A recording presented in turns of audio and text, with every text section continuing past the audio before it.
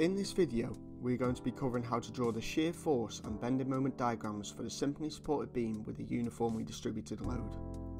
By the end of this video, you'll be able to draw the shear force and bending moment diagrams for a beam and use this knowledge to solve similar problems. Let's start by defining what shear force and bending moments are. Shear force is the force that acts perpendicular to the longitudinal axis of the beam. It tends to cause the beam to slide or shear apart at a particular section. It is denoted as F and can act upwards and downwards. A bending moment happens when there is a distance between the applied force and the point in which the moment is acting. The force then causes the beam to bend about the point. It is denoted as M and can either act clockwise or anti-clockwise.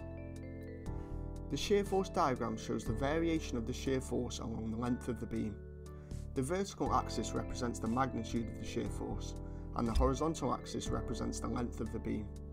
The diagram is typically shown with positive values of shear force above the horizontal axis and negative values below the axis. The bending moment diagram shows the variation of the bending moment along the length of the beam. The vertical axis represents the magnitude and the horizontal axis represents the length of the beam.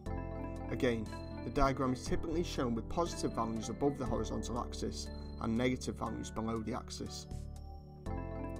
Now, let's work through an example of how to draw the shear force and bending moment diagrams for a beam with a UDL. If we look at the beam we can see that it is 6 metres in length and has a uniformly distributed load W of 50 newtons per metre applied across the whole length of the beam.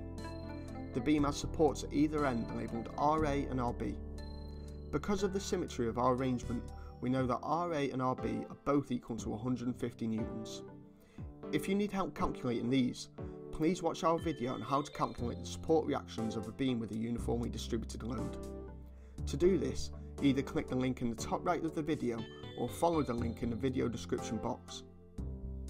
In order to draw our diagrams, we need to make imaginary cuts along the beam where we are going to determine our shear force and bending moments. In both instances, we will be taking into consideration the forces to the left of the cuts. It must be noted that as our beam is in equilibrium, the total forces acting on the beam are zero, and the total moments are also zero. We'll begin by drawing the shear force diagram. First, we need to cut the beam at sections where we want to determine the shear force. In this example, we'll cut the beam at 2 metre intervals. To calculate the shear force of the UDL, we'll multiply W by the distance x to the left of the cut. When x equals 0, the only force acting on the beam is the 150 newton reaction force RA, so the shear force at x equals 0 is positive 150 newtons on our diagram. When x equals 2, we still have the 150 newton reaction force RA, but now we have the introduction of the UDL of 50 newtons per metre in the opposite direction. As there is 2 metres to the left of our cut, the shear force at this point is calculated by 150 minus 50 times 2, which equals 50 newtons.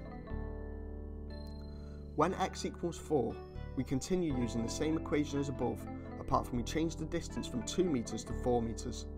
This becomes 150 minus 50 times 4, which equals minus 50 newtons. Finally, when x equals 6, we have the addition of the 150 newton reaction force RB in the positive direction. So, the shear force at this point is 150 minus 50 times 6 plus 150, which equals 0 newtons. By connecting the dots, we get the finished shear force diagram for our beam, which looks like this.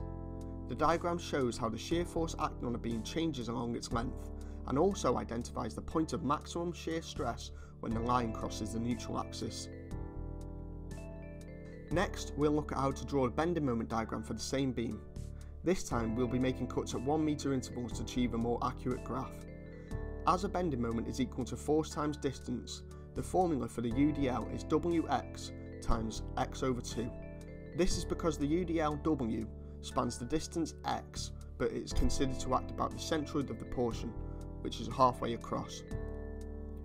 When x equals 0, the only force acting on the beam is the reaction force Ra, but as it has a distance of 0 metres, the bending moment is also 0.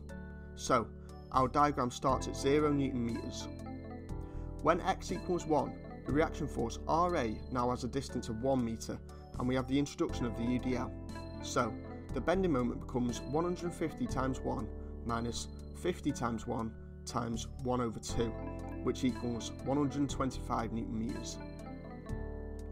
When x equals 2, the reaction force Ra now has a distance of 2 meters, and the span of the UDL is also 2 meters. So, our bending moment becomes 150 times 2 minus 50 times 2 times 2 over 2, which equals 200 newton meters. When x equals 3, the distance of RA is 3 meters and the span of the UDL is also 3 meters. So, our bending moment is 150 times 3 minus 50 times 3 times 3 over 2, which equals 225 newton meters. When x equals 4, RA now has a distance of 4 meters and the UDL also spans 4 meters. So the bending moment at this point is 150 times 4 minus 50 times 4 times 4 over 2, which equals 200 newton meters. When x equals 5, RA has a distance of 5 meters and the UDL has a span of 5 meters. So our bending moment is given by 150 times 5 minus 50 times 5 times 5 over 2, which equals 125 newton meters. When x equals 6, RA now has a distance of 6 metres and the UDL spans the whole beam. The reaction force RB is not considered at this point as it has a distance of 0 metres. Therefore, our bending moment is 150 times 6 minus 50 times 6 times 6 over 2, which equals 0 newton meters. By connecting the dots, we get the finished bending moment diagram for our beam which looks like this. The curvature of the graph indicates that if we had calculated more points along the beam, our graph would have been a smooth curve. We have also identified the point of maximum deflection to be 3 metres. And that's it.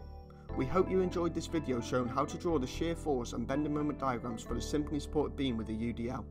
Thank you for watching. Please check the channel for similar engineering related content.